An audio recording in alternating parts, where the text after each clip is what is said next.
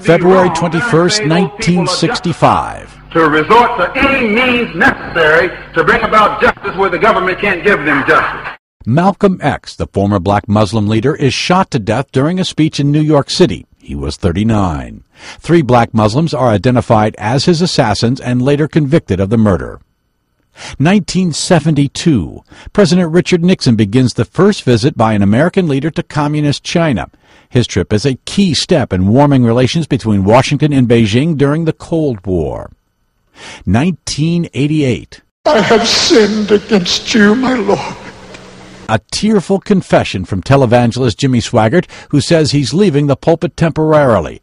Swaggart does not specify the sin, but his confession comes amid reports linking him to an admitted prostitute.